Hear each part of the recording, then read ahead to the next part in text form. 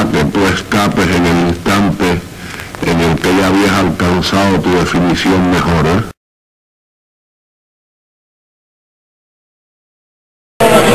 Cuando mi abuela se estaba muriendo, le dijo a Joséito que tenía que casarse con María Luisa para que no se quedara solo. Y entonces él se casó con María Luisa.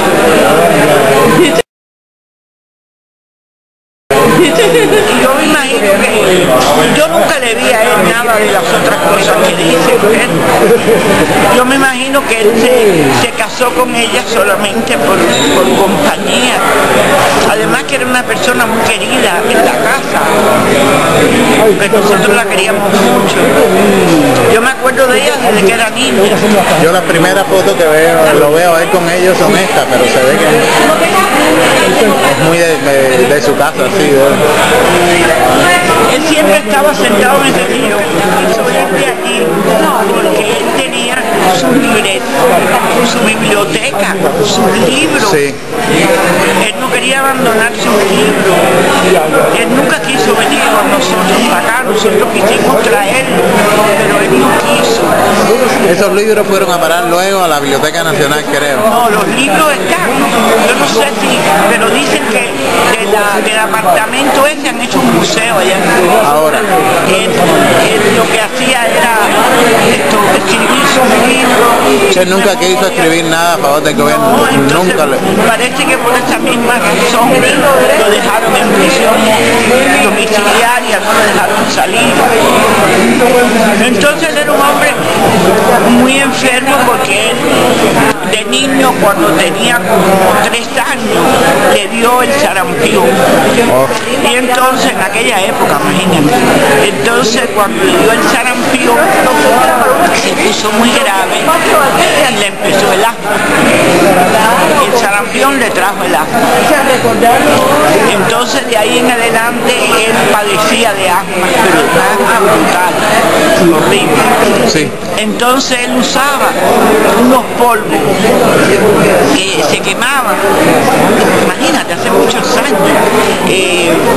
se quemaban y echaban como un humito, y ese humito él lo aspiraba, y entonces le quitaba el asma. Después vino, mucho tiempo después, el era- Oh, sí. entonces con eso se mejoró. Pero yo me imagino que esa misma asma con el tiempo lo afectó mucho. Sí, no, y el- también el sobrepeso. eh, La misma- él- pero él era un hombre muy familiar con nosotros específicamente. Él era muy familiar. En el libro del Paradiso, Violante era mi mamá, porque mi mamá era una persona muy callada, muy medida, muy religiosa. Y entonces esto, él decía que mamá era como una violeta, que cuando le daba el sol se acurrucaba. Y entonces por eso fue que él le puso en la novela violeta.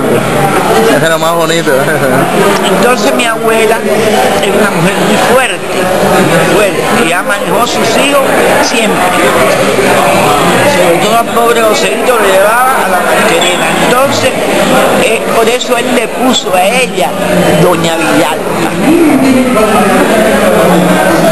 ¿Sabe? Entonces hay tantas cosas de la familia y cosas lindas. Él era un hombre, él era un hombre especial. Él era especial. No, evidentemente. Hay gente como que dice que lo mismo que lo odia, hay quien lo ama, pero no hay nadie que se quede indiferente con eso. Él era un hombre muy especial. Dicen que era homosexual, yo nunca le vi nada. Porque yo, yo, yo tampoco era una niña, yo me fui de Cuba a los 25 años. Y a los 25 años tú, tú, eres ningún- tú no eres ningún bobo. No, no, no, no, para nada. Y yo me pasaba la vida metida en casa de mi abuela, porque yo trabajaba en Cubana Aviación y teníamos una oficina en Prado.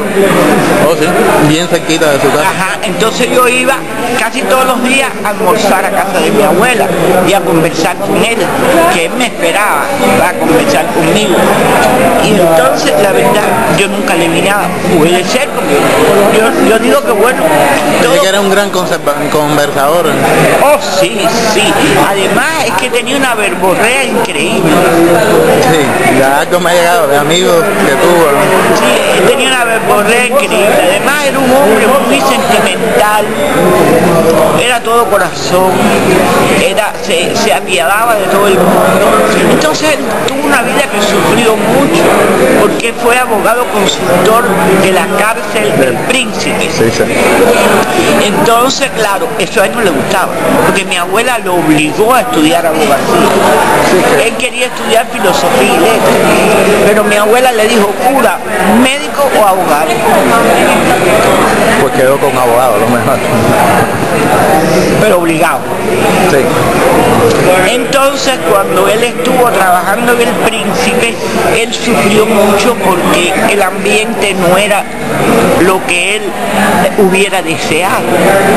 Él no pertenecía a aquel ambiente de presos, de cosas de no, nada que ver. Entonces un día él llegó a la casa, no se me olvidará nunca, un día llegó a la casa y yo estaba en casa abuela y entonces él, él dijo, hay que ver lo que es una madre. La madre Hoy me fui a ver la madre del descuartizador de La Habana. Y, me dijo, ay doctor, ayuda a mi hijo, que mi hijo es, mi hijo es muy bueno, mi hijo, mi hijo no ha hecho nada malo. Y él, él le dijo, bueno, viejita, yo no te puedo ayudar porque es el descuartizador de La Habana. Y ella me rogó, me suplicó que lo ayudara. Eso es para, me dijo él, eso porque tú veas mi sobrina lo que es una madre. Porque la madre siempre perdona. Él adoraba a mi abuela. Él nunca se quiso casar al principio porque nada más que él siempre estaba bajo la salla de mi abuela. Los dos eran como, como dos personas unidas así. Yo creo que tampoco se debía sentir muy bien así de, de, esa manera. Porque ya después que se casó con María Luisa la cosa fue un poco mejor, porque María Luisa lo cuidaba. Pero él tuvo una temporada cuando mi abuela se murió que estaba tirado a morir. Él no podía vivir sin abuela. Y abuela era amiguísima, porque abuela no sabía de dieta, nada Me acuerdo que lo pusieron a dieta el médico. Y estaba yo almorzando en la casa cuando ella le prepara la fruta bomba. Mira, Joséito, esta es una fruta que no engorda. Y rácata, cogió la leche condensada y se